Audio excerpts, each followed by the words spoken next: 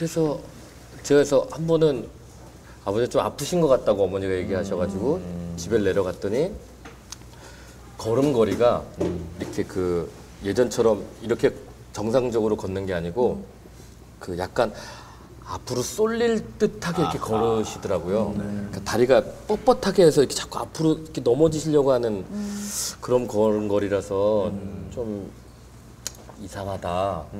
그래서 이제 검사를 받으셨는데 어, 파킨슨병 초기라고 이렇게 진단이 나왔어요. 사실은 이제 아들 된 입장에서의 걱정은 그 저희 할머님이 친할머니가 그 아버지와 거의 비슷한 병을 앓다가 돌아가셨었어요.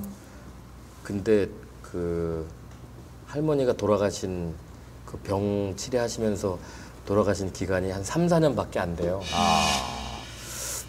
할머니가 그렇게 돌아가셨기 때문에 되게 마음이 조급한 거예요.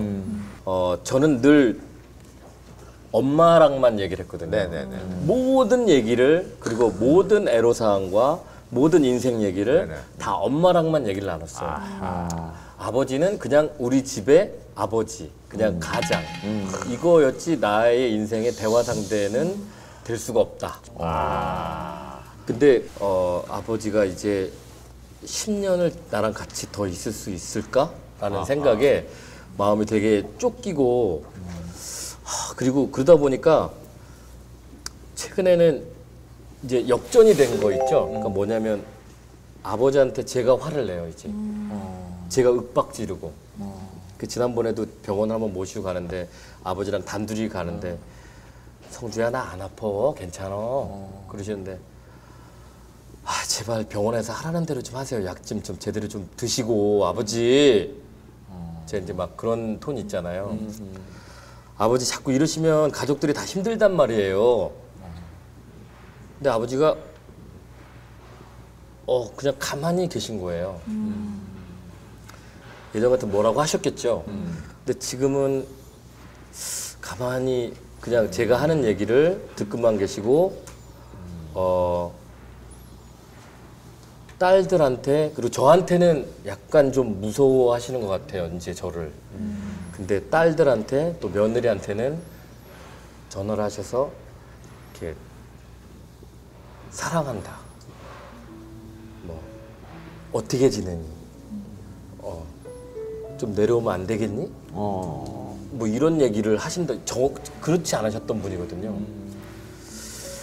그래서 이제 막 드는 생각이 이제 그런 거죠. 아 이대로 이대로 가시면 그러니까 제가 음, 민국이하고 이렇게 생활해 보니까 여행을 떠나 보니까 어, 그 여행 프로그램을 통해서 제가 대화를 많이 하게 됐잖아요. 아까 말씀드린 것처럼 우리 아버지도 어떨 때는 아들하고 대화를 하고 싶으셨을 때도 있었겠다. 근데 아들이 엄마하고만 사랑스럽게 지내니까 기회를 못 잡고 아들한테 하고 싶었던 얘기, 아들과 같이 나누고 싶었던 대화를 못 하셨을 수도 있겠다. 막 그런 생각이 드니까 아 아버지가 돌아가시기 전에 아버지가 더 아프시기 전에 빨리 아버지하고 좀 지금의 나와 민국이의 관계처럼 이렇게 좀 좋아졌으면 좋겠다. 아버님하고 저 어디 성주야 어디가 하면 하세요? 그래서 아 근데 지금 이제 성주야 어디가 하기에는 아버지가 이제 아, 그래요? 예 몸이 좀 그정 좀 약해지셔 가지고요. 그래서 저희가 네. 한 통의 편지가 왔어요. 제가 이제 편지 좀저 읽어 드리도록 하겠습니다.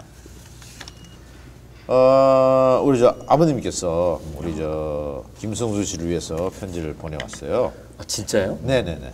어, 직접. 내 사랑하는 아들 성주야. 너에게 이런 편지를 쓸 때가 다 오는구나. 하마터면 네가 이 세상에 못 태어날 수도 있었던 거 아니? 엄마가 너를 가졌을 때 병원에 가서 진단을 받았지. 의사가 하는 말이 또 딸이라고 하더란다. 엄마가 너무 섭섭해서 덕촌 집에 와서 나한테 하는 말이 또 딸인데 없애버리겠다.